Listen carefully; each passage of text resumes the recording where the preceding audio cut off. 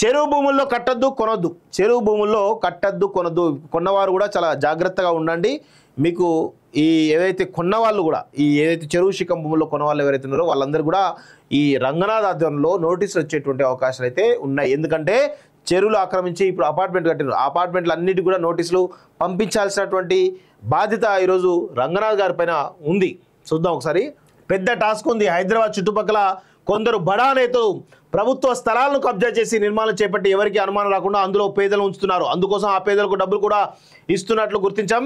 ఇటీవల గాజుల రామారంలో ఇదే తరహాలో యాభై నాలుగు ఇళ్ళను నిర్మించారు. వాటిని కూడా మేము కూల్చేశాం. చాలా సీరియస్గా చేయాల్సిందే చేసి తీరాల్సిందే. హైదరాబాద్లో కబ్జా గురైన చెరువులన్నింటినీ పునరుద్ధరిస్తాం. బఫర్ జోన్లలో నిర్మాణాలు చేపట్టాలంటేనే వెన్నులో వణుకు పుట్టాలి. అక్రమ కట్టడాలకు అనుమతులు ఇస్తే ఆఫీసర్లపైన కేసులు చెరువులను కాపాడుకోకుంటే భవిష్యత్తు ప్రమాదంలో పడుతుంది. టైం వచ్చినప్పుడు ఎన్ కన్వెన్షన్ పైన చర్యలు తప్పవు. ఫైర్ సేఫ్టీ పర్మిషన్లు తీసుకొని బిల్డింగ్స్ను సీజ్ చేస్తాం. త్వరలో హైడ్రా పోలీస్ స్టేషన్ ఏర్పాటు చేస్తామని వెల్లడించారు. ఇది నిజంగా ఒకవేళ ముందుకు పోతే అప్రిషియేట్ చేస్తాం. గతంలో కూడా ఎన్ కన్వెన్షన్ను ఆ కూలుస్తామని చెప్పేసి చెప్పినటువంటి ఆ రాష్ట్ర ప్రభుత్వం నాగార్జున ఇచ్చినటువంటి తాయిలాలకు కేటీఆర్ లొంగిపోయిండు.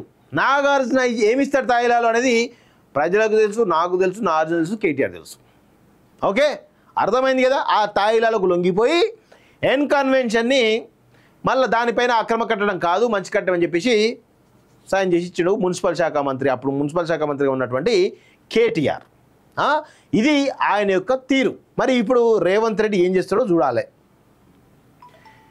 అక్రమ నిర్మాణాలకు నిర్దాక్షిణంగా కూల్చేస్తాం. హైడ్రా కమిషనర్ రంగనాథ్ హెచ్చరిక.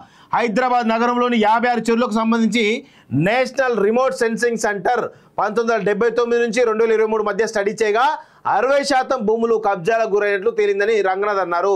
మొత్తం నలభై పాయింట్ ముప్పై ఐదు చదరపు కిలోమీటర్ల విస్తీర్ణంలో చెరువులు ఉండగా ఇందులో ఇరవై నాలుగు పాయింట్ ఇరవై ఆరు చదరపు కిలోమీటర్ల అక్రమం గురైందని తెలిపారు.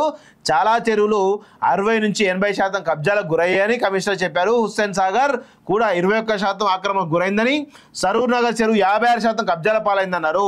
తుమ్మలకుంట చెరువు వంద శాతం ఆక్రమణ గురైందని పెద్ద చెరువు తొంభై ఆరు శాతం నల్ల చెరువు తొంభై శాతం మిర్యాలగూడ చెరువు తొంభై శాతం ఇట్లా హైదరాబాద్ పరిసరాల్లో చెరువులన్నీ కబ్జాల పాలయ్యాయని ఆయన ఆవేదన వ్యక్తం చేశారు. ఈ ఆక్రమణలు అడ్డుకోకపోతే హైదరాబాద్ హైదరాబాద్ భవిష్యత్తు ప్రశ్నార్థకంగా మారుతుందని అన్నారు.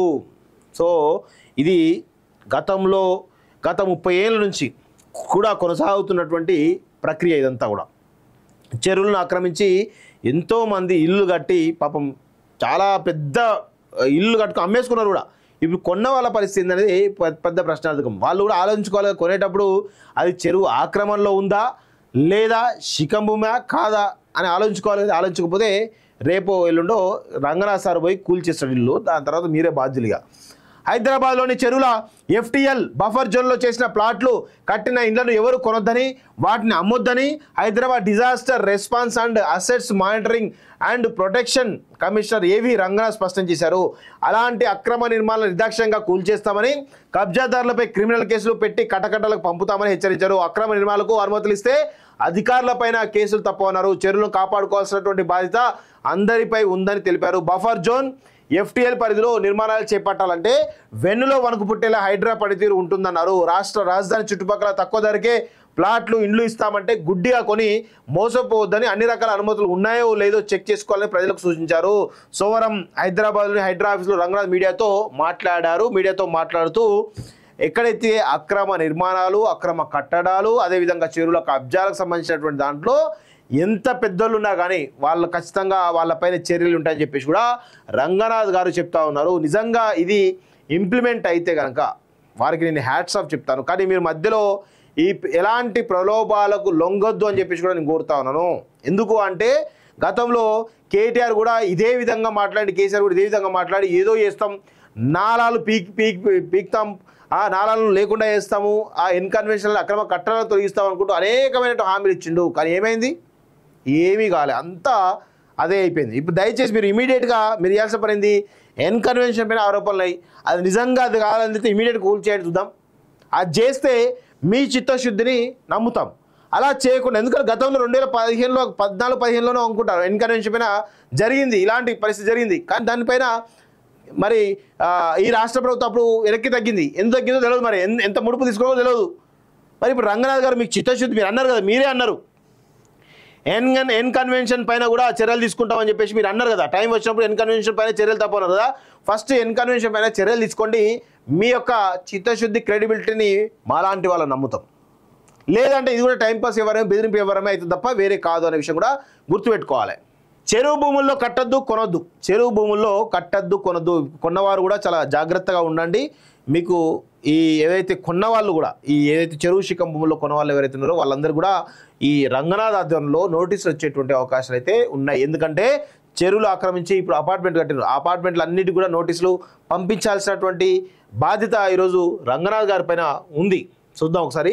పెద్ద టాస్క్ ఉంది. హైదరాబాద్ చుట్టుపక్కల కొందరు బడా నేతలు ప్రభుత్వ స్థలాలను కబ్జా చేసి నిర్మాణం చేపట్టి ఎవరికి అనుమానం రాకుండా అందులో పేదలు ఉంచుతున్నారు. అందుకోసం ఆ పేదలకు డబ్బులు కూడా ఇస్తున్నట్లు గుర్తించాం.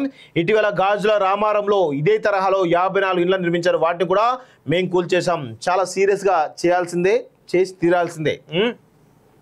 హైదరాబాద్లో కబ్జా గురైన చెరువులన్నింటినీ పునరుద్ధరిస్తాం. బఫర్ జోన్లలో నిర్మాణాలు చేపట్టాలంటేనే వెన్నులో వణుకు పుట్టాలి. అక్రమ కట్టడాలకు అనుమతులు ఇస్తే ఆఫీసర్లపైన కేసులు చెరువులను కాపాడుకోకుంటే భవిష్యత్తు ప్రమాదంలో పడుతుంది. టైం వచ్చినప్పుడు ఎన్ కన్వెన్షన్ పైన చర్యలు తప్పవు. ఫైర్ సేఫ్టీ పర్మిషన్లు తీసుకొని బిల్డింగ్స్ను సీజ్ చేస్తాం. త్వరలో హైడ్రా పోలీస్ స్టేషన్ ఏర్పాటు చేస్తామని వెల్లడించారు. ఇది నిజంగా ఒకవేళ ముందుకు పోతే అప్రిషియేట్ చేస్తాం. గతంలో కూడా ఎన్ కన్వెన్షన్ను ఆ కూలుస్తామని చెప్పేసి చెప్పినటువంటి ఆ రాష్ట్ర ప్రభుత్వం నాగార్జున ఇచ్చినటువంటి తాయిలాలకు కేటీఆర్ లొంగిపోయిండు. నాగార్జున ఏమిస్తాడు తాయిలాలు అనేది ప్రజలకు తెలుసు నాకు తెలుసు నాగార్జున తెలుసు కేటీఆర్ తెలుసు. ఓకే? అర్థమైంది కదా? ఆ తాయిలాలకు లొంగిపోయి ఎన్ కన్వెన్షన్ని మళ్ళీ దానిపైన అక్రమ కట్టడం కాదు మంచి కట్టడం అని చెప్పేసి సాయం చేసి ఇచ్చాడు మున్సిపల్ శాఖ మంత్రి. అప్పుడు మున్సిపల్ శాఖ మంత్రిగా ఉన్నటువంటి కేటీఆర్. ఇది ఆయన యొక్క తీరు. మరి ఇప్పుడు రేవంత్ రెడ్డి ఏం చేస్తాడో చూడాలి. అక్రమ నిర్మాణాలకు నిర్దాక్షిణంగా కూల్చేస్తాం. హైడ్రా కమిషనర్ రంగనాథ్ హెచ్చరిక.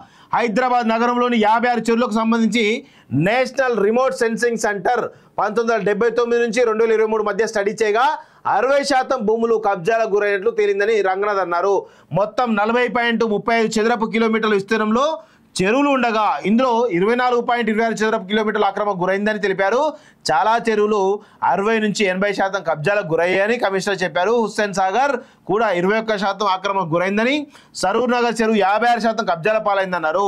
తుమ్మలకుంట చెరువు వంద శాతం అక్రమం గురైందని పెద్ద చెరువు తొంభై ఆరు శాతం నల్ల చెరువు తొంభై శాతం మిర్యాలగూడ చెరువు తొంభై శాతం ఇట్లా హైదరాబాద్ పరిసరాల్లో చెరువులన్నీ కబ్జాల పాలయ్యాయని ఆయన ఆవేదన